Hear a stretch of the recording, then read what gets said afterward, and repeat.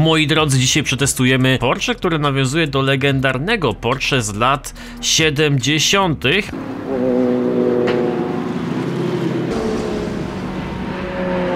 ale jest zbudowane w zupełnie nowy, nowoczesny sposób i bazuje na modelu, który jadę właśnie teraz, czyli Porsche GT2 RS i możecie sobie je kupić za 702 tysiące euro plus podatek VAT. No i oczywiście nie będziecie mogli nim jeździć po drogach, bo jest to samochód typowo torowy. Porsche y, 935 możecie sobie zdobyć y, w playliście festiwalowej. O, i zobaczcie, co my tutaj mamy. 700 koni mechanicznych, 1380 kg wagi, 3,8 litra pojemności. Mamy tu silnik Boxer, jak to w Porszakach. I wiecie co?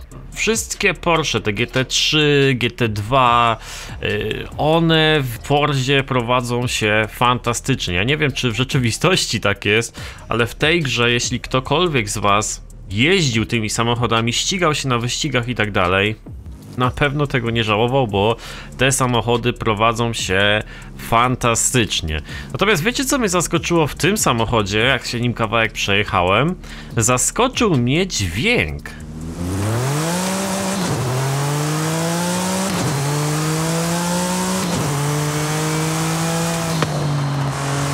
Więc tak jak wspomniałem, mamy tutaj silnik Boxer 3.8 litra, czyli mamy dwie turbo sprężarki. Samochód jest mocno zbustowany, bo tak jak wspomniałem, mamy tu no niecałe 700 koni mechanicznych. W sumie jest tak jasno teraz tutaj na zewnątrz w grze i to Porsche jest takie białe, że ledwo widać tą karoserię, prawda? Tak jak obracałem kamerą, no nie? Aż się tak mocno świeci. Ale powiem wam jedną rzecz, że jeśli planujecie sobie zrobić jakąś dobrą, e, dobry samochód wyścigowy do klasy S2, to to Porsche zmiecie wam to totalnie ze stołu wszystkie Bugatti, Rimaki, e, tego typu inne tematy, dlatego że absolutnie fantastycznie się prowadzi. Wręcz aż za łatwo bym powiedział. No jest, ten samochód jest genialny, ale tak jak wspomniałem, Wszystkie Porsche w Fordzie Horizon 5 prowadzą się zajebiście i w Fordzie Horizon 4 też prowadziły się dużo lepiej, ale w piątce dodatkowo jeszcze mamy lepsze prowadzenie tych samochodów, lepszą przyczepność. Ta Porszawa jest chyba królem wszystkich Porsche, tych GT, GT2, GT3. Bo jest na przykład Porsche Carrera, jest Porsche 918, chyba też w Fordzie piątce. Y, które no nie prowadzą cię fantastyczne. One, są takie, wiesz, egzotyki po prostu, nie? Ale te wszystkie GT2, one są po prostu genialne. Natomiast jest jedna ciekawa charakterystyka tego konkretnie modelu, mm, ponieważ on jest odciążony, cały ten przód jest odciążony, silnik mamy w okolicach tylnej osi napędowej, czyli gdzieś tak gdzieś jeszcze wysunięty chyba do tyłu to on potrafi być i nadsterowny, i podsterowny czasami. To jest dziwne. E, to znaczy czuć, że ten tyłek jest po prostu cięższy sporo od tego przodu. I my tak naprawdę dobrze zaczynamy prowadzić ten samochód przy wyższych prędkościach, kiedy do akcji wchodzi, e, wiecie, opór aerodynamiczny i zwiększenie docisku naprzód, a ten zderzak z przodu jest właśnie tak skonstruowany, żeby nam ten docisk na przednią oś generować. I dopiero przy wyższych prędkościach ten samochód pokazuje, co potrafi. To jest jeden z tych samochodów, które jak odbierzecie sobie w Fordzie, jakie sobie zdobędziecie, to nie musicie przy nich nic grzebać i możecie sobie po prostu jeździć i się nim cieszyć. Absolutnie podoba mi się fakt, że mamy tutaj silnik Boxer. Silniki Boxer y, słyną z tego, że mają niski środek ciężkości, dlatego że tłoki są skierowane w siebie w ten sposób, no i ten silnik po prostu niżej sobie siedzi, a nie tak jak w przypadku silników y, w układzie V, czy po prostu zwykłych rzędówek. Tutaj ten silnik tak jakby sobie leży można powiedzieć, że na boku. I ta, ta masa jest rozłożona tutaj inaczej, jest niżej i te samochody z takim silnikiem po prostu lepiej się prowadzą. Wszystkie Porschawy GT2, GT3 mają właśnie silnik Boxer. Z silniku typu Boxer korzystają też na przykład Subaru, Yy, o w sumie Porsche Cayman też ma silnik Boxera z tego co kojarzę. Także jest to bardzo fajna jednostka spalinowa do napędzania samochodów y, torowych, takich wyścigowych. I ja jestem absolutnym fanem.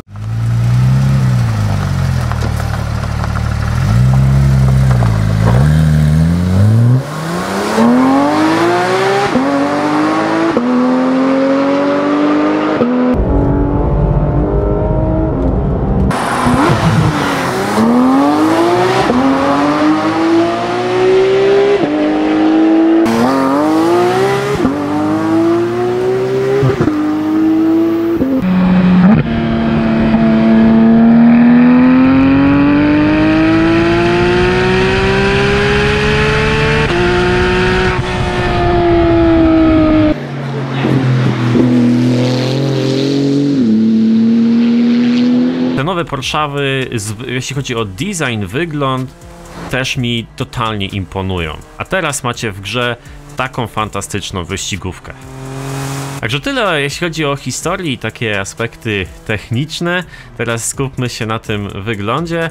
Oczywiście on mocno nawiązuje do klasycznego Porsche, które może nawet w którejś Fordzie i było, ale Coś mi się tak kojarzy, że w którejś grze wyścigowej było, ale nie wiem czy w Fordzie. Ale tutaj mamy taką odświeżoną wersję i tak na pierwszy rzut oka faktycznie ten samochód może wyglądać staro, ale zwróćcie uwagę na chociażby taki fajny szczegół jak e, zapalające się e, światła podczas hamowania na tylnym spoilerze na skrajnych lotkach. Widzicie? Teraz tego nie widać dobrze, bo jest kurczę dzień, ale nam się tu świeci. Także na pierwszy rzut oka w ogóle to się nie rzuca w oczy, no nie?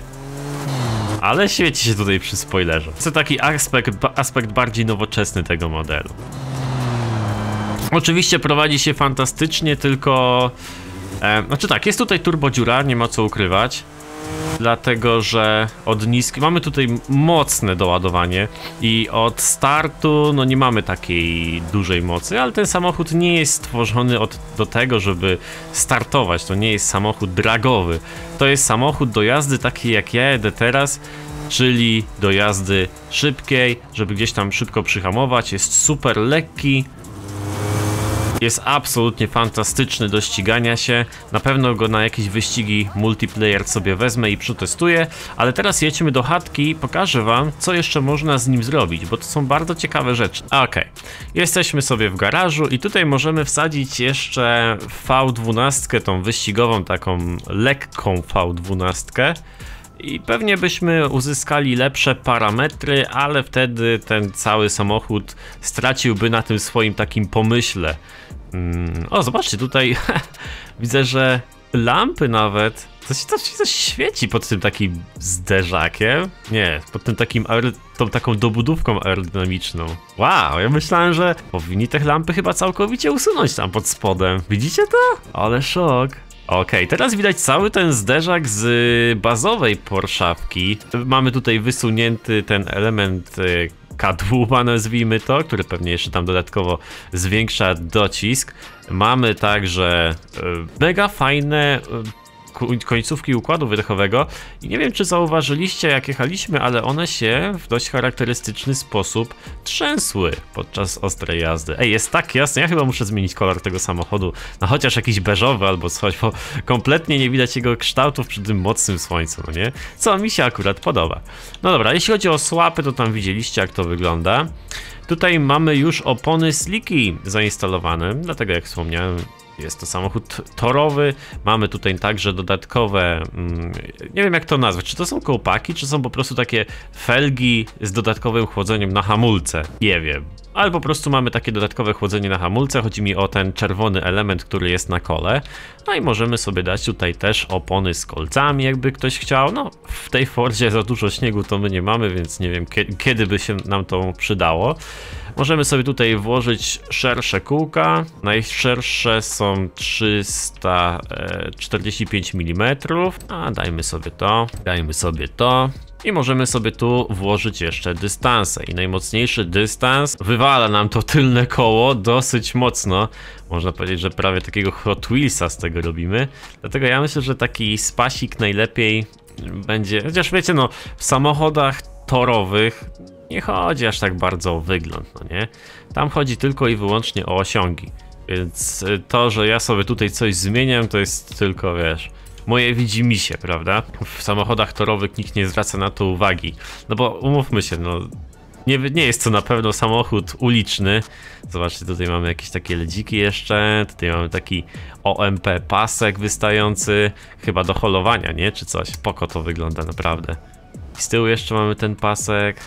Ale tylny zderzak, jeszcze te lampy, przecież powinni w wersji torowej chyba powinni pousuwać te lampy, jak myślicie? Dziwne to jest trochę. No ale w Fordzie zawsze te modele samochodów dobrze odzwierciedlają, więc tutaj się na pewno nie będę kłócił. Ehm, skrzynia biegów i wiecie co, ja tutaj nie wymienię skrzyni biegów, dlatego że już mamy tu wyścigową skrzynię biegów, którą możemy sobie chyba regulować i jest to skrzynia siedmiobiegowa. Moglibyśmy sobie tu wymienić hamulce na mocniejsze jeszcze. Moglibyśmy dać tutaj rajdowe i driftowe zawieszenie, gdybyśmy chcieli, ale podejrzewam, że driftowanie tym samochodem to jest totalna porażka, dlatego że mamy tutaj silnik chyba nawet za tylną osią napędową, co raczej do driftu jest kiepskim pomysłem. Można tam zrobić jakiegoś power slida, ale ten samochód jest stworzony nie do tego, żeby robić power slidy, tylko właśnie, żeby trzymać się, żeby być super przyczepnym. Zobaczcie na to tylne, ogromne tylne skrzydło, wyprofilowane specjalnie do tego, aby generować docisk. A teraz posłuchajcie opcjonalnego wydechu.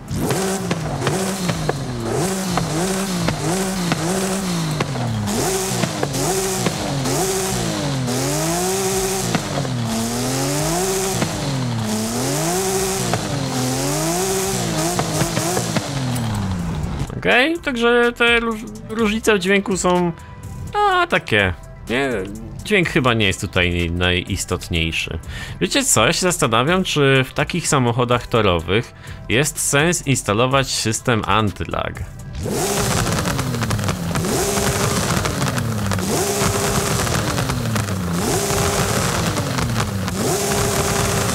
Jak się zastanowimy, to byłoby kilka takich momentów, w których byśmy ten antylag mogli spożytkować, na przykład przy wyjściu z zakrętów, albo tam, gdzie musimy ostro dohamować i zaraz wyjść z zakrętu, żeby nam to doładowanie nie spadło, to ten antylag teoretycznie powinien się przydać. Jak widzieliście przed chwilą samochód e, od razu wylądował do klasy X. Tu jeśli chodzi o tuning, jeśli chodzi o zawieszenie, naprawdę nie trzeba nic kombinować. Samochód zaraz po wyjęciu z pudełka jest fantastyczny. Możemy się tutaj pobawić e, dociskiem. Czasami mi ta dupa gdzieś uciekała, więc mogę sobie nawet zrobić takie podsterowne ustawienie aerodynamiczne, żeby samochód nie nie zarzucał dupą na zakrętach, tak? No i tu możemy sobie ciśnienie zwiększyć. I wiecie co, to ustawienie dyferencjału jest dość agresywne jak na samochód torowy, ale okazuje się, że w tym Porsche robi robotę. Wygląda na to, że docisk, wiesz, cała jednostka napędowa, plus to wszystko... Aha, miałem jeszcze zmienić kolor, kurde, zmieńmy ten kolor, bo nie widać tego auta. Tak więc fabryczny kolor mamy tylko jeden. Jakbyśmy chcieli sobie zmienić na jakiś inny, to niestety znikają nam te charakterystyczne naklejki i teraz wygląda jakby był to jakiś taki powypadkowy samochód. No nie wygląda to dobrze, nie? Okej, okay, wow, teraz to wygląda jak hiper samochód do dopiero, no nie? Ej, naprawdę fajne malowanie. Może nie, nie, nie nawiązuje jakoś do klasyki, ani nic takiego, ale wygląda świetnie ten tył. Czekaj, bo ja jeszcze muszę sobie tryb e, zdjęciowy tutaj zrobić i zobaczyć ten tylny zderzak, ale to faktycznie jest tylny zderzak od Porsche. O, tu mamy naklejkę Hot Wheels. Okej. Okay. E, tu mamy też taki... O, tutaj Ktoś to pomalował chyba, kurde, tego tak nie było, nie wiem. Na pewno fura jest poszerzona względem e, standardowego GT2. Odrobinę, nie jakoś bardzo mocno. Wow. Fajnie to wygląda, postarali się naprawdę. I, a właśnie, zapomniałem wam wspomnieć, tutaj mamy, wiesz, w środku samochodu tylko jeden fotel, czyli fotel najważniejszy, fotel kierowcy. I tam mamy taką rurę, która prowadzi do zbiornika paliwa. Zobaczcie, jaki mały zbiorniczek, nie? Ale Wiesz, tutaj się samochód y, co ileś tam okrążeń tankuje, więc tutaj nie potrzeba dużego zbiornika, a każdy gram się liczy, dlatego co? Jesteście gotowi? Testujemy. System antylag włączony. O, czekaj, czekaj, czekaj. A, hamulec ręczny mi nie działa. O, teraz.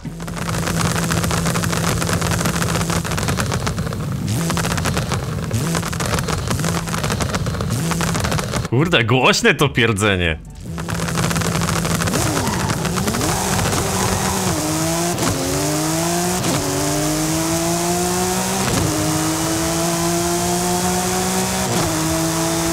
Tak serio mocno doładowałem ten samochód, jeszcze mocniej niż był w standardzie. I tak myślę, że do mm, przyjemnej jazdy to może być trochę za dużo. To znaczy, jeśli ktoś gra na kierownicy, bo jeśli ktoś gra na padzie, to oczywiście można sobie wdupić tam mocy ile się chce, ale tak, żeby fajnie sobie na kierownicy jeździć i opanować dobrze ten samochód, to czasami za dużo mocy jest też niedobrze. I czasami nawet warto mieć w tej klasie S2 niż, wiesz, niewykorzystane, niewykorzystane te wszystkie punkty, które mógłbyś przeznaczyć na ulepszenia, ale lepiej, wiesz, panować nad tym samochodem. Kurczę, ale tak przejechałem się tu parę zakrętów i ja pierniczę. What? To się chyba nie odnosi do tej fury. Wow. Ależ to ciśnie na tych zakrętach. To jest tak jakby te Porsche GT3 jeszcze dodatkowo dopierdzielone te Porszawki GT3 RS, które możecie sobie, no nie wiem, te najnowsze, te wcześniejsze, one prawie wszystkie tak samo dobrze się prowadzą w Fordzie.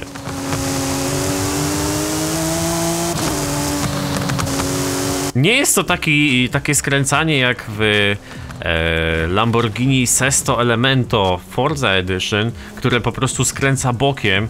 Ten samochód tak władowuje się w ten zakręt i on po prostu taki przyciśnięty do tego zakrętu. Aż mam ochotę zaraz się nim pościgać na multiplayerze czy coś. I tak zrobię, kurde. Tak sobie myślę, jak na torze owalnym się spiszę. Bo chyba jest to samochód idealny do tego. Wow.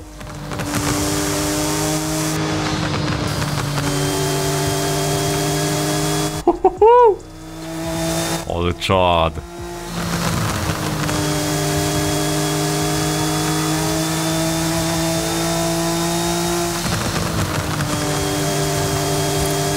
Ja pierniczę. Samochód jakby w drugim etapie zakrętu zaczyna tak mocniej ten zakręt brać. To jest niesamowite, wow. Ale on zajebiście się prowadzi, kurde. Ultra łatwo, powiem ci. Nawet po takim mocnym ulepszeniu jestem w szoku totalnym. Wow. Jestem ciekawy, jak na multiku sobie poradzi. Mega dobrze to jeździ. I świetnie odwzorowali ten samochód w Fordzie Horizon 5. Zdobędźcie sobie go koniecznie, bo na bank będzie to auto kolekcjonerskie w Fordzie. I zobaczcie jak na tym malowaniu, jak w tym malowaniu wygląda kozacko. Dzięki wam, że byliście na tym odcinku. Trzymajcie się na razie. Hejas!